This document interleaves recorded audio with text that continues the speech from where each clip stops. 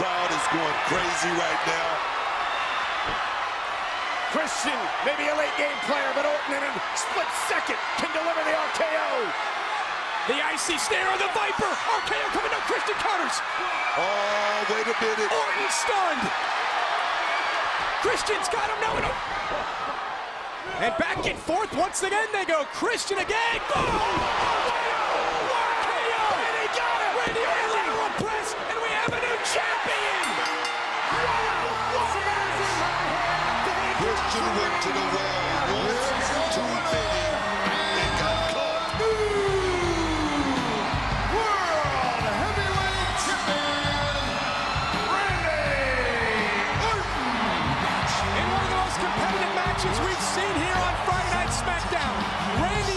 Proves yet again that the RKO can strike from anywhere, and the Viper is once again World Heavyweight Champion. And that means that Christian is no longer the World Heavyweight Champion.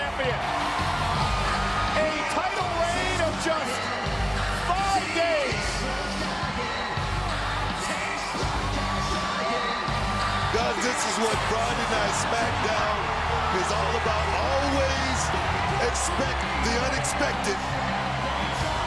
Well, again, we thank our general manager, Theodore Long, for making this huge world championship match between Randy Orton and Christian.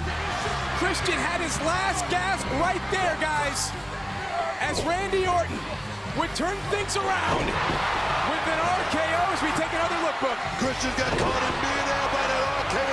Like I say, the Viper can strike at a moment's notice, and he just struck to become the World Heavyweight Champion tonight here on Friday Night SmackDown. You gotta love it. In my mind, never has a match personified victory and defeat like this one.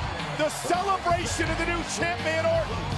The despair of the once champion Christian. Randy Orton shows once again that no one should get too comfortable. No lead is too safe. There's no room for complacency. Randy Orton has slithered his way to the top of the SmackDown food chain. The Viper is now the World Heavyweight Champion. It was of defeat. I really feel bad for Christian right now. The Cinderella story is over as the Viper begins title reign number eight.